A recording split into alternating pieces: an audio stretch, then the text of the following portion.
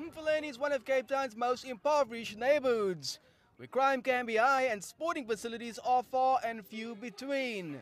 But for some that has changed because they've been coming here to the neighborhood's first gym. Elias Stockware used his personal savings to open the gym, which started off with a single bench press and weights, and blossomed into a 20 square meter facility crammed into his modest home, which has already been well received by residents. This gym is a positive thing for the, um, for the community um, because there's a lot that you learn here and you gain a lot here. Even, even, even if you gain a lot of information, um, um, your body, you, you, you, you, um, what can can I put it? You're having um, what you call it, um, a nice body, if I can put it that way. You're gaining muscle, you're gaining everything, you're gaining knowledge on how to on how to live um, um, um, um, um, healthy lifestyle.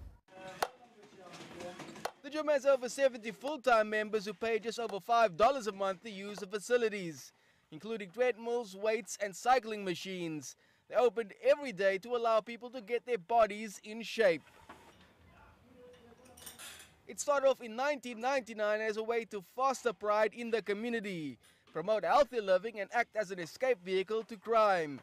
It's already shown huge benefits to the residents of this neighborhood. When I, when I see the crime is no longer as high as compared that time now, it's, um, it's less now because most of the people they're spending time here. When they're coming from work, they're coming here, or if you're not working, you can always come here in the morning. Yeah, there's a lot of people enjoying coming here because of um, he, he also teaches them on how to eat the nutrition Those who attend also get hands-on advice on developing strength and muscle tone. It's a good way to foster a healthy lifestyle and keep away from crimes.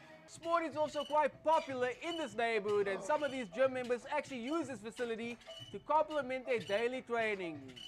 I, I, I like to come to the gym because I'm a soccer player and then I, I like to work on my body too so that I can be healthy. And when I'm feeling low, I just come to the gym and my, on my free time, just now I just finished my exam, so that's how I come to the gym. I'm love the gym because I'm playing a, a sport, a rugby sometimes, but not say every week because I'm working. That's why I'm not you know, playing every week. For now though, the gym has shown it's sustainable and plans are in the pipeline to add shower facilities and an extension in the future so that more residents can get the healthy benefits from a good workout. Travis Andrews, CCTV, Cape Town.